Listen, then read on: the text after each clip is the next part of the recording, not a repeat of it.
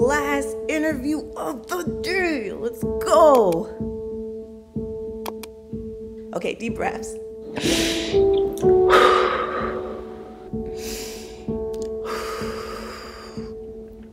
Girl, baby girl, you have studied so much.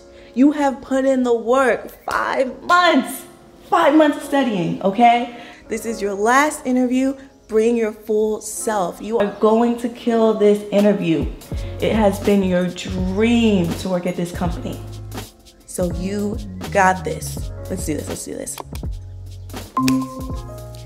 Okay, interviewer is not here yet. Gives me some time to chill out. Ah! My hand just like just won't stop shaking. I need the interviewer is about 11 minutes late. I don't know. Should I message the recruiter? What should I do?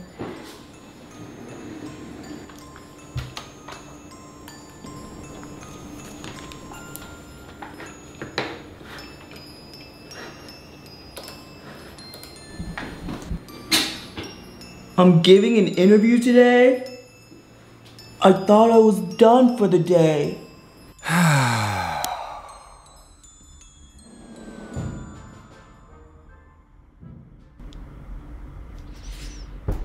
Yes, uh, sorry I'm late. I didn't know I had to do this today.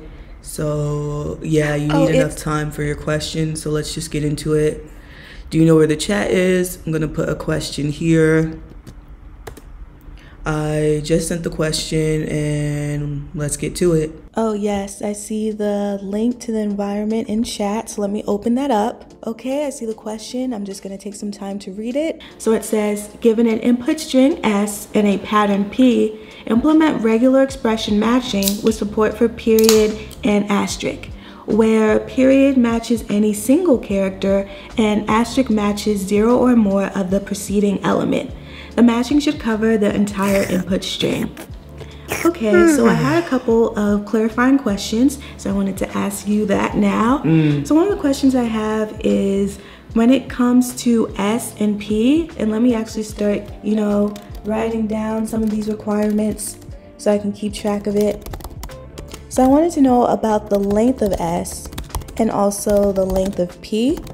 And then also when it comes to like the case of it, so like uppercase and lowercase, um, what can we expect from it?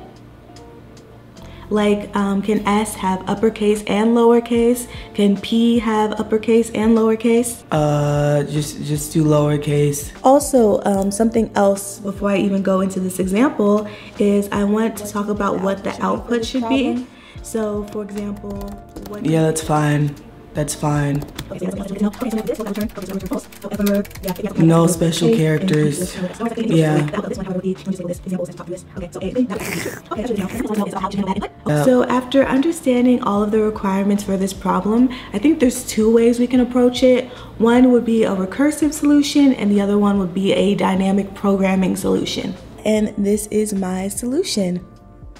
Yeah, so I had so many questions about what it's like to work at your company and kind of like the different tools and resources that you use for your day to day job. So I'm so, oh, yeah, no, we are out of time.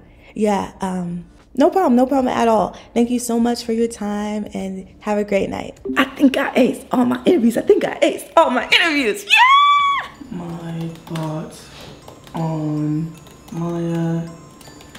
She did not ask me questions at the end. She could have explained more about her implementation before coding. Code could have been cleaner. She was just alright. I thought I thought I really had it this time.